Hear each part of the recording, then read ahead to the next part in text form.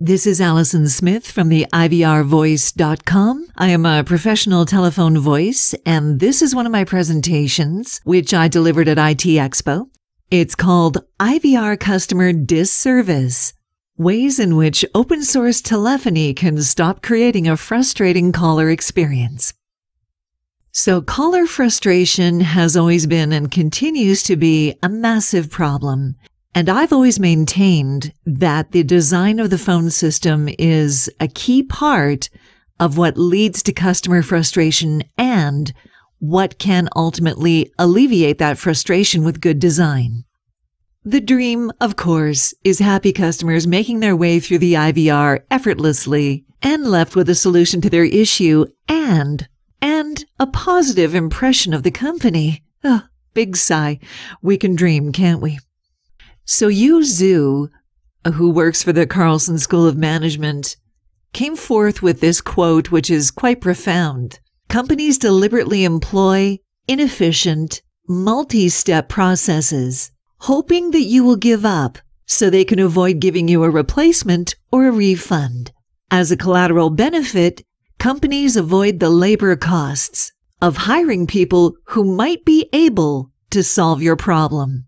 In addition, he said, if you have this tiered design, you can definitely improve your profit and you can definitely tick people off in the process pretty heady words, and it's a pretty big admission that sometimes IVRs are deliberately designed to save money and create problems for the caller. He went on to say, You call them, and most of the time, you don't talk to a real person.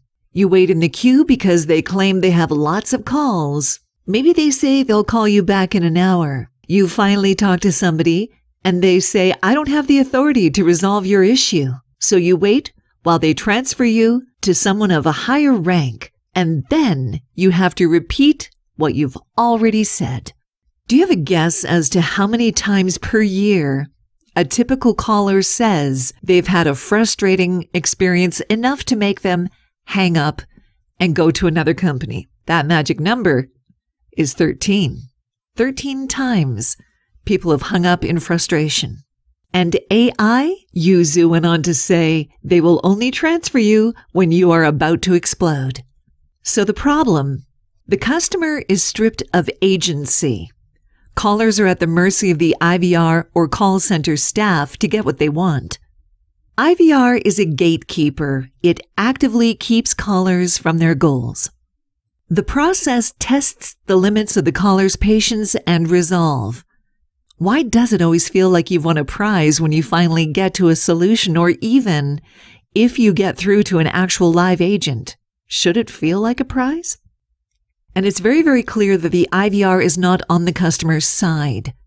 IVRs seem to be constructed to keep callers in their place. It's not there to make their lives easier. And open source's part in this whole issue.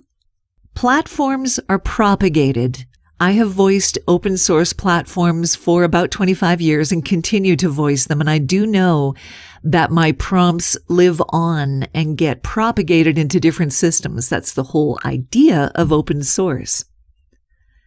But in doing so, mistakes get duplicated and things that are probably awkwardly worded and not very good about one system, unfortunately, will just get duplicated into other systems.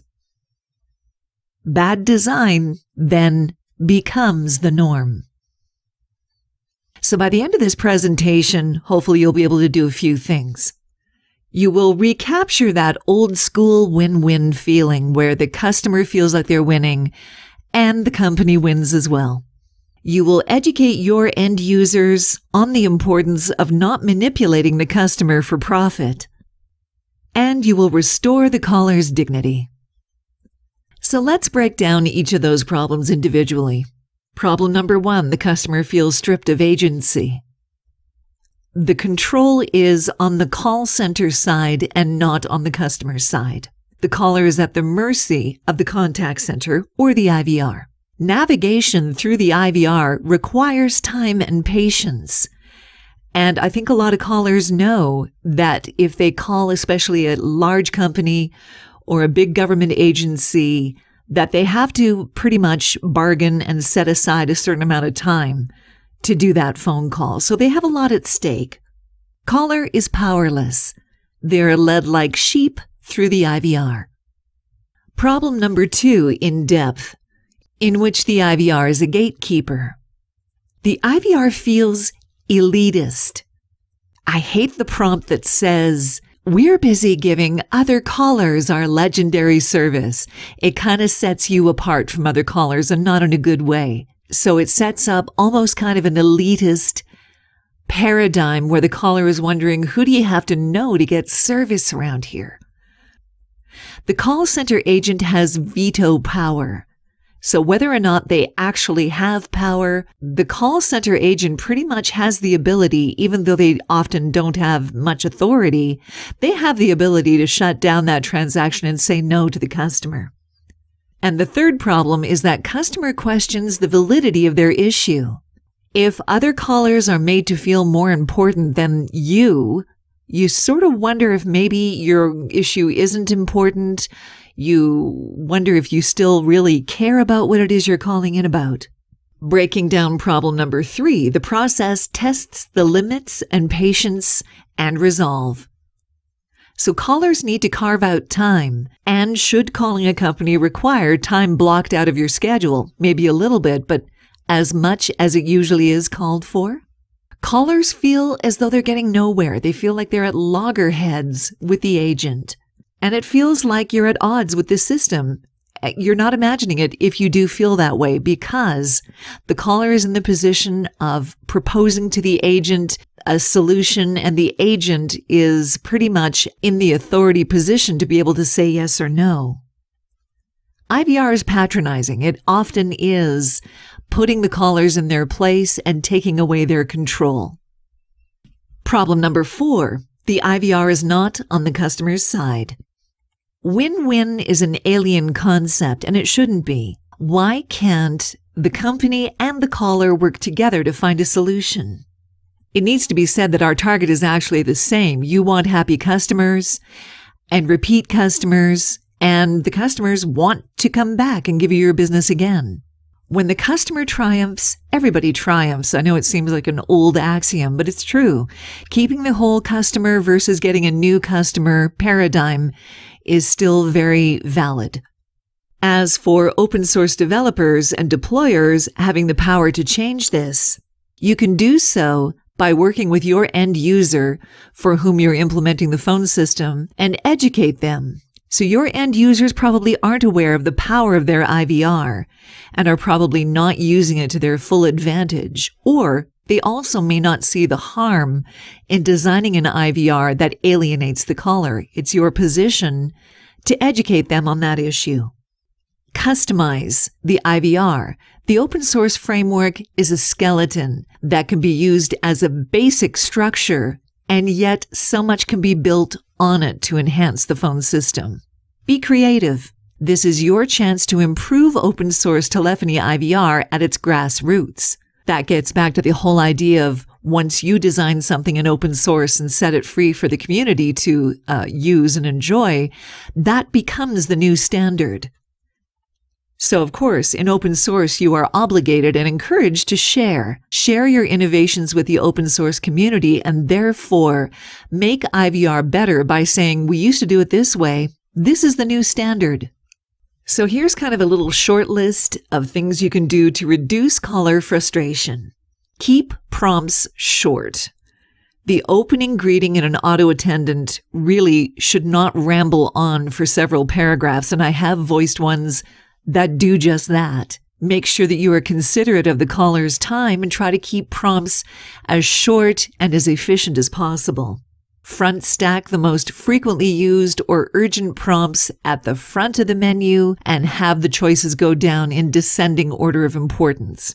Don't make your choices too similar. I think we've all been in the position of listening to choices in an opening menu and thinking that what you're calling in is a little bit like choice number one, but it's also somewhat like choice number two. And what do I do? So make sure that your choices in your menu are distinct and don't sound too similar.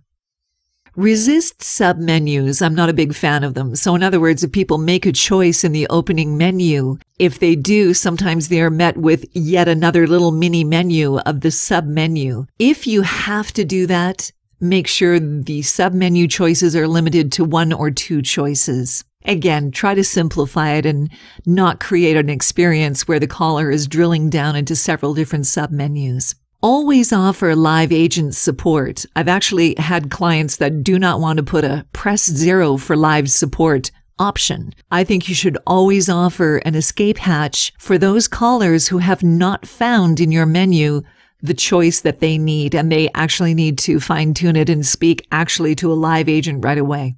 I don't think it's going to be abused because people are pretty turnkey and they enjoy arriving at a solution on their own with their own choices. Don't make the caller work too hard. Again, this goes back to um, designing multi-level IVRs that put the callers through their paces and make them really work hard to try to get to a, a solution. Try to make it as simple as possible. And above all, respect the caller's time and patience. Uh, it seems obvious, but if you kept that in mind, that the caller's time and patience are in short supply, that would go a long way to designing IVRs that are a bit more intuitive and easier to use. And as for companies deliberately making IVRs confusing so that callers will drop off and they won't have to issue a refund, yeah, we're just, we're not going to do that anymore. And we're going to discourage your customers from trying to improve their bottom line by just not offering any solutions at all. Thank you so much for watching. This is my contact information. Feel free to reach out if you have any comments about the presentation or if you need to start a dialogue about designing a better phone system for you or your end users. Thanks for watching.